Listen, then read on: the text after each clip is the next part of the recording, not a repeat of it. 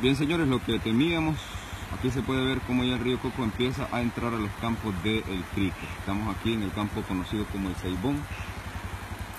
tenemos un, eh, allá está el otro, conocido como el NIM, pues todavía hay una parte eh, sin afectar, pero aquí vemos ya la mitad del campo ya inundado. Allá tenemos el río, se puede ver la corriente del río, cómo va eh, inundando poco a poco eh, lo que es el, este campo de fútbol conocido como el Seibón. Nosotros vamos a salir de aquí rápidamente porque por donde entramos ya el acceso ya está, entramos con dificultad y este, mejor vamos a, salir. Y como podemos ver ahí pues está peligrando, por ejemplo ese poste de energía que está ahí.